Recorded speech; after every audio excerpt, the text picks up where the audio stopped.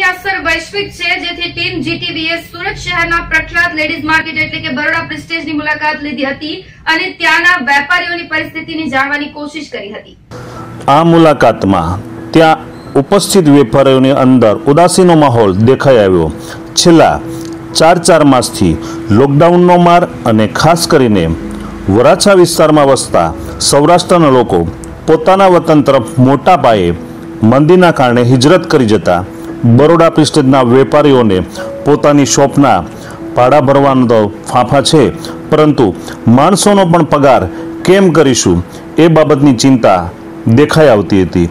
ખાસ કરીને જે શોપની અંદર સ્ટાફ વધારે હતો, એમાં પણ સ્ટાફની છૂટી કરવામાં આવી છે. ત્યારે મધ્યમ વર્ગની હાલત ખૂબ જ કફોડી થઈ છે. ત્યારે કહી શકીએ કે સુરતની અંદર બરોડા પ્રિસ્ટેજ એ એક ઉદાહરણરૂપ છે. સમગ્ર સુરતની અંદર ડાયમંડ ઇન્ડસ્ટ્રીઝ અને ટેક્સટાઇલ માર્કેટની પણ હાલત ખૂબ જ કફોડી છે. સરકાર દ્વારા પણ વારંવાર અલગ અલગ નિયમથી ડાયમંડ ઇન્ડસ્ટ્રીઝ અને નાના નાના વેપારીઓને પણ ખૂબ જ તકલીફ વેઠવી પડે છે.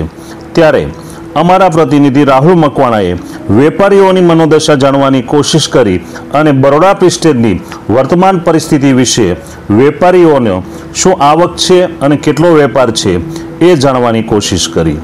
મિત્રો, સમગ્ર સુરતની અંદર આર્થિક મંદીનો દોર છે ત્યારે બરોડા પ્રિસ્ટેજની માર્કેટ સુમસામ દેખાઈ હતી.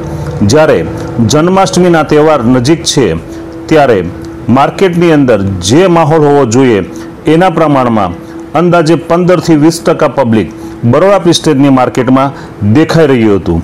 ત્યારે જોવાનું એ રહ્યું કે શું આની આ પરિસ્થિતિ દિવાળી સુધી રહેશે કે પછી પરિસ્થિતિમાં સુધારો આવશે. અમારા પ્રતિનિધિ રાહુલ મકવાણાએ બરોડા પ્રિસ્ટેજના વેપારીઓની મુલાકાત લીધી અને વેપારીઓએ શું કહ્યું, જાણો. કોરોનાને લઈને સમગ્ર ભારતમાં જ્યારે મંદીનો માહોલ ચાલી રહ્યો છે, ત્યારે સુરતમાં બરોડા પ્રિસ્ટેજમાં જે મહિલાઓની માર્કેટ છે, તેમાં પણ સન્નાટો જોવા મળી રહ્યો છે. ખાસ કરીને દર વર્ષની જેમ આ વર્ષે મંદી ચાલી રહી છે. કોરોનાના લઈને ત્યારે આ માર્કેટ સુમસામ દેખાઈ રહ્યું છે. જ્યારે અહીંયા ચાલવાની પણ જગ્યા ના હોય, ત્યારે આજે પૂરેપૂરું માર્કેટ હાવ સુમસાન દેખાઈ રહ્યું છે. ત્યારે અહીંના દુકાનદાર સાથે સીધી વાત કરીએ. જી, આપનું નામ આપ કેવી રીતે ધંધો કરો છો? અને આ વર્ષે કેવી, કેવું માર્કેટ કેવું રહ્યું છે? આ વર્ષે માર્કેટ બહુ ધીમું છે. બે મહિના તો લોકડાઉનમાં વયા ગયા. ઓર હવે લોકડાઉન ખુલ્યો, એની પછી બી કાંઈ ઘરાકી પાણી છે નહીં. બસ આવીને બેસી જવાનું, ચાય નાસ્તો કરી લેવાનું બસ. ઓર ભાડા છે. ભાડા ભરાતા નથી.